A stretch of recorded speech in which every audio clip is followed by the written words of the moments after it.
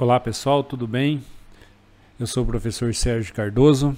Sejam todos bem-vindos aqui no canal.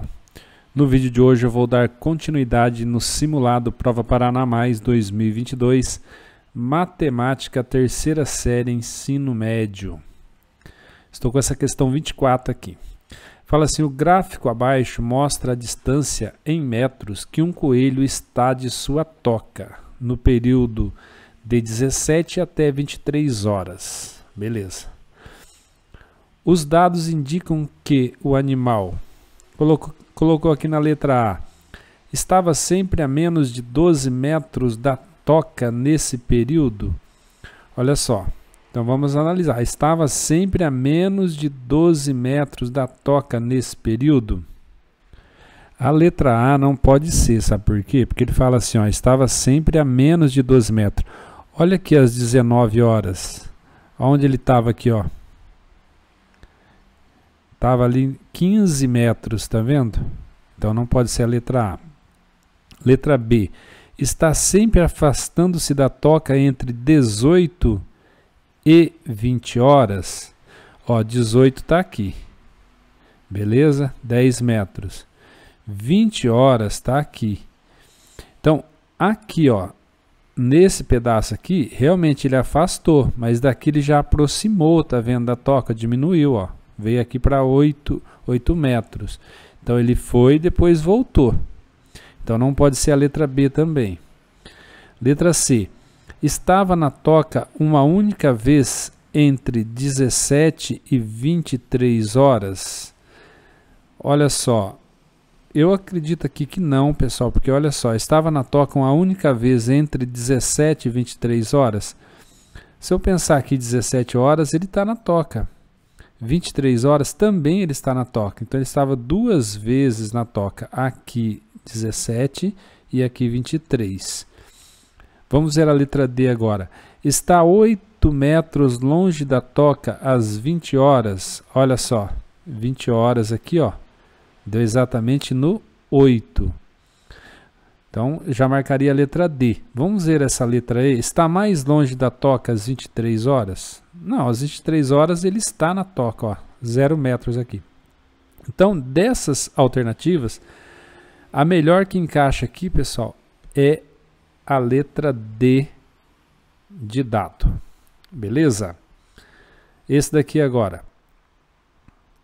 Considerando os pontos K, L, M N e O, considerando os pontos K, L, M, N e O apresentados no plano cartesiano, qual desses pontos possui as coordenadas menos 2 e menos 4? Tranquilo isso aqui, pessoal. Isso aqui é o para-ordenado x, y, sempre o x primeiro e depois o y. Então o x aqui é menos 2, então eu vou pegar menos 2, deu aqui, ó y menos 4. Menos 4 está aqui embaixo. Então, o ponto vai ser esse ponto O aqui. Isso está na alternativa E. Próximo. Fala assim, Carlos S. Serralheiro utilizou uma chapa retangular de 16 metros quadrados para fazer um portão de garagem. Então ele tem toda essa chapa aqui que tem 16 metros quadrados, a chapa toda. Ele perfurou essa chapa com quatro aberturas triangulares idênticas. Então aqui ele cortou aqui, ó, fez quatro aberturas triangulares idênticas. Observe na figura abaixo essa chapa e as aberturas criadas em cinza com algumas de suas medidas. Beleza, colocou as, as medidas aqui, ó, um triângulo que tem a base 1,2 e a altura 0,2. Aí a pergunta é, com quantos metros quadrados de área essa chapa ficou após a abertura? Então a situação é a seguinte, pessoal. Se a, a placa toda tem 16 metros quadrados, vocês concordam comigo que se eu calcular a área dessas aberturas aqui, é só subtrair aqui do 16. Então eu vou calcular a área desse triângulo aqui, vou multiplicar por 4. Aí eu tenho a área de todas essas aberturas aqui e vou subtrair do 16. Então vamos lá. Vou chamar de área 1 vai ser 1,2, que a fórmula é essa, ó. Base vezes a altura dividido por 2, essa área do triângulo. Então, essa área 1 aqui, ó, vai ser base, que vai ser 1,2, vezes a altura, que é 0,2, tudo isso dividido por 2. Então, 1,2 vezes 0,2. 2 vezes 2 dá 4, aqui dá 2, dá 0, dá 0, 4, 2, 0. Duas casas, ó, dá 0,24. Então, a área 1 vai ser 0,24 dividido por 2. Então, a área 1 vai ser 0,24 dividido por 2 dá 0,12 metro quadrado. Só que é o seguinte, pessoal, isso aqui é a área de um triângulo desse daqui, ó. Como eu tenho 4, eu vou multiplicar, vou chamar a área desses quatro triângulos aqui de A mesmo, que vai ser 0,12 vezes 4. Então, essa área aqui vai ser 0,12 vezes 4. 4 vezes 2, 8. 4 vezes 1, 4. 4 vezes 0, 0. 0,48 metros quadrados. Então, olha só, a área desses quatro aqui ó, dá 0,48. Isso foi retirado desses 16 aqui. Então, eu vou pegar 16 menos 0,48. Vou subtrair. A vírgula está aqui, ó, 0, 0.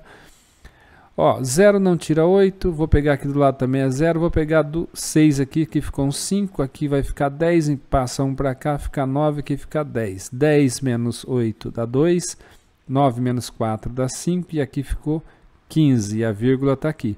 15,52. Isso está na alternativa E. Próximo. Fala assim: a Secretaria de Transporte de uma cidade divulgou que o preço da passagem do ônibus urbanos, que atualmente é de R$ 4,50, terá um aumento de 6%. Qual será o preço da passagem do ônibus urbano nessa cidade após o aumento? Olha só, vou fazer por regra de 3 aqui, ó. R$ 4,50 equivale a 100%. O aumento foi de 6%, então a passagem passou a ser 106%, que vai dar X. Agora eu multiplico cruzado, porque é uma regra de 3 simples, diretamente proporcional, eu posso fazer isso. Então, 100 vezes x, 100x, que é igual a 4,50 vezes 106, ou 106 vezes 4,5, é a mesma coisa. Agora eu vou fazer essa continha aqui do lado, aqui, depois dividir por 100. Aqui, pessoal, eu fiz aqui, ó, 106,4,5, para ganhar tempo eu já adiantei aqui, ó dá 4, 477. Então eu vou colocar aqui, ó, 100x é igual a 477. x é 477, esse 100 está multiplicando, passa dividindo. Aí a divisão por 100, como a vírgula está bem aqui, a gente anda duas casas para a esquerda, porque são, é por 100. Então eu venho aqui, vai dar 4,77. Então a pergunta é: qual será o preço da passagem do ônibus urbano nessa cidade após esse aumento? 4,77. Isso está na alternativa C de cebola. Próximo. Essa questão aqui, pessoal, ó, fala assim: na loja de eletrodoméstico em que Pedro trabalha, todos os funcionários recebem uma comissão pelas vendas realizadas. Sendo assim, o salário mensal de Pedro é composto por um valor fixo de R$ 1.200 acrescidos de uma parte variável que representa um quinto da quantidade total vendida por ele naquele mês, em reais. Em julho de 2021, Pedro recebeu R$ 2.150 de salário. Qual foi a quantia total vendida por ele nesse mês? Então vamos pensar assim, ó. Vou chamar S, que é o salário de Pedro. Então o salário de Pedro, que ele vai receber no final do mês, vai ser essa parte fixa aqui, que é R$ 1.200, mais um quinto da quantidade total vendida, que é justamente o que ele quer saber, a quantidade total. Então eu tenho aqui um quinto da quantidade. Qual foi a quantidade? Aqui eu posso representar por uma variável, um x, por exemplo, um quinto de x. Essa é a relação. Aí, ó, o salário de Pedro, ó, Pedro recebeu 2.150 de salário. Então, vai, vou colocar aqui 2.150 no lugar do S aqui, ó. Vai ser igual a 1.200 mais ó, 1 vezes x, x, x sobre 5. Essa é a equação que eu preciso resolver. Equação do primeiro grau, pessoal. Então, olha só, vou passar esse 1.200 para cá, fica assim, ó, 2.150 menos 1.200. Isso vai ser igual a x dividido por 5. vou fazer essa subtração aqui, ó, do lado aqui. Essa subtração eu fiz aqui deu 950. Então, 2.150 menos 1.200 dá 950, que é igual a x dividido por 5. Agora aqui, ó, eu posso fazer o seguinte, o denominador desse 950 é 1. Então, eu vou multiplicar a cruzada aqui, ó, x vezes 1, colocar de outra cor aqui, vai dar x, que é igual a 950 vezes 5. 950 vezes 5, aí eu já mato o exercício. 950 vezes 5. 5 vezes 0, 0. 5 vezes 5, 25, vai 2. 9 vezes 5, 45. Com 2, 47. Isso aqui vai dar 4.750. Isso é o que ele vendeu, né, pessoal? Falou assim, ó, qual foi a quantidade total vendida por ele nesse mês? 4.750. Isso está aqui na alternativa D de dado. Ó, vou encerrar o vídeo aqui que já está com 11 minutos. Na próxima aula eu trago a partir da questão 30, tá bom? Vou pedir para você se inscrever no canal, deixar o like, compartilhar esse vídeo aí com, com o pessoal, tá bom? Um abraço, até a próxima aula. Tchau!